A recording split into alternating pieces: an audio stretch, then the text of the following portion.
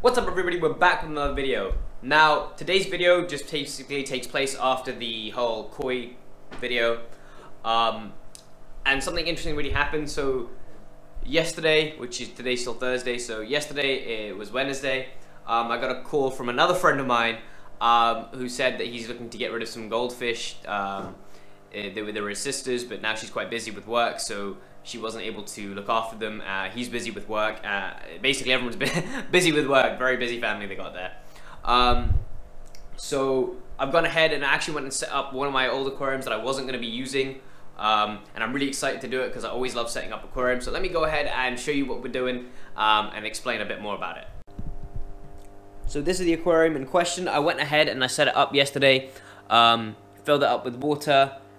Um, there was a bit of waste at the bottom, so I drained all that out, which is why the water level is slightly lower.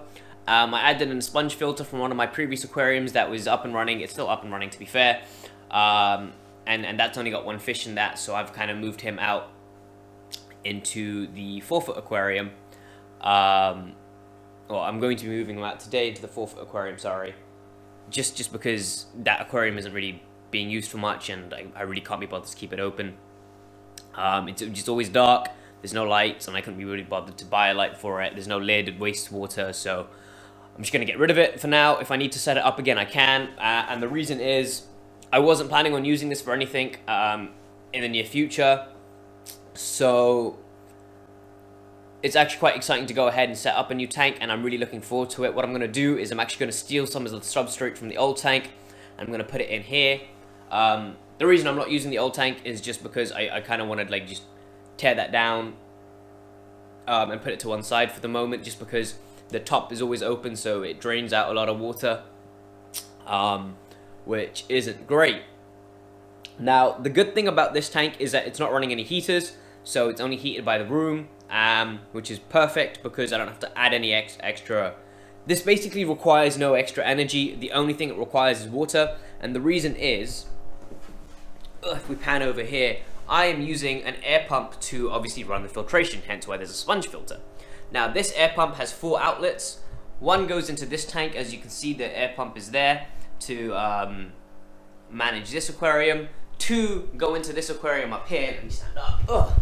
Um, for the air stones, yay and yay at the back. And so there's one extra one that wasn't being used. In fact, it was actually, when this had water in it, was being used to, to just run an airline into there. There was no pump. And so now it's being used for this aquarium. So literally, there's no extra energy charge, no heating required. And all I have to do is put fish in. This is already cycled. Um, and just monitor them. It's only going to be two goldfish. And I'm really excited just to do this. Though I might add some substrate in. Um, I want to add in some decorations, but I don't have anything yet. I'm thinking about what I can put in, because I know I can't put any plants in, which really sucks. Uh, goldfish love to devour plants. But we shall see. So...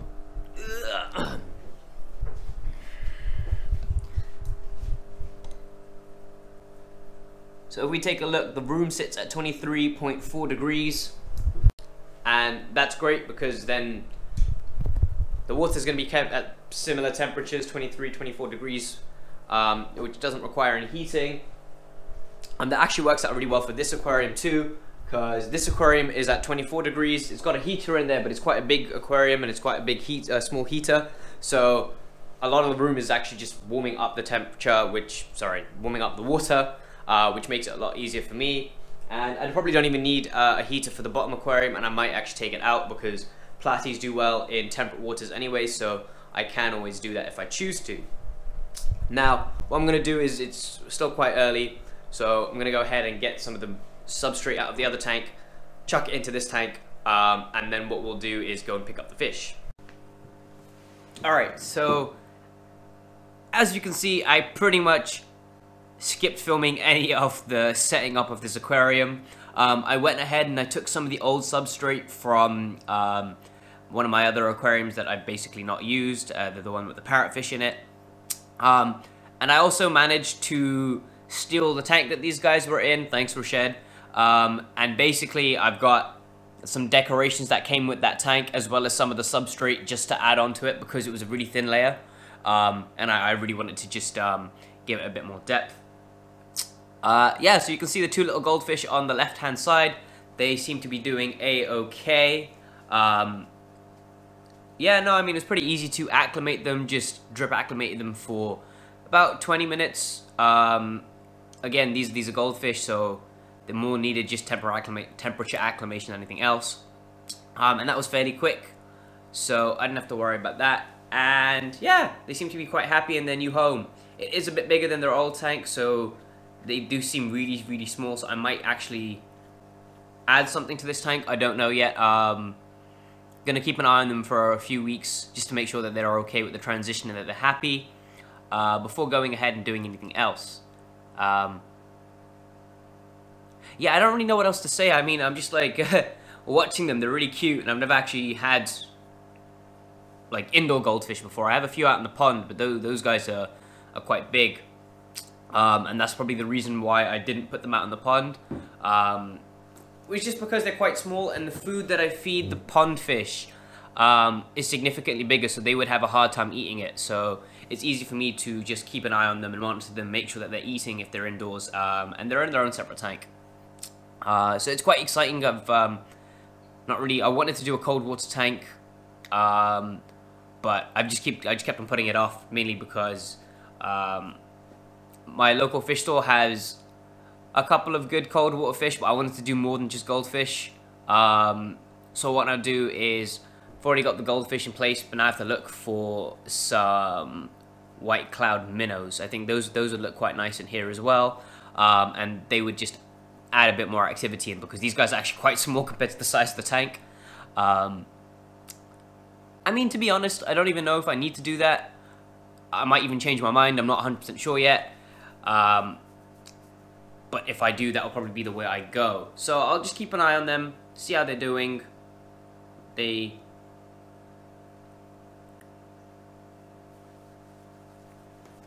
yeah, and that's pretty much it. So what I'll do is, I haven't fed them yet, so maybe in a day or two, I'll go ahead and feed them, just let them get a bit more acclimated to their environment. Um, I've only put the light on for the, the sake of this. Uh, I'll keep the lights off as well, just, just to reduce the amount of stress that they're going through. Uh, but they look to be in perfect health, unlike um,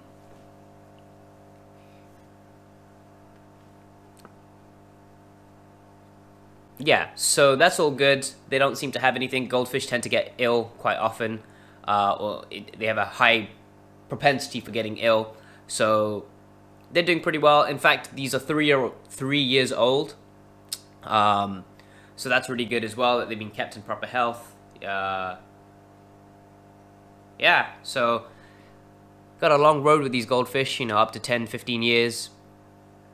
Um, I'm not really sure what else to say. Just trying to think of something. But nah, I think that's pretty much it for today's video. Um, again, just trying to quickly think if I got anything else to say. No, I think that's it. Yeah, no, super psyched for this video. Um, and I hope you guys are all keeping safe.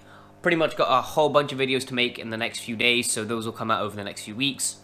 Um, but yeah, I hope you guys enjoyed today's video. Once again, thank you so much to um, my friend and his family for, you know, thinking of me when they wanted to give him a better home. I'm quite happy about that. And yeah, I'll see you guys in the next one. Peace out.